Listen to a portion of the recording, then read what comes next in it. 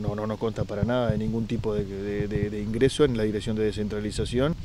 No lo descarto de pleno en la información que manejo y no, creo En estas cuestiones, en estos tiempos sobre todo, y para mejor terminó el Mundial el domingo pasado, y la efervescencia por, la, por las cuestiones, este, ya está, ganó Francia, estamos todos contentos con Griezmann, algunos no tanto, pero estas cuestiones de la, de la dirección de imposibles ingresos o no posibles ingresos serán rumores propios de la época que vivimos.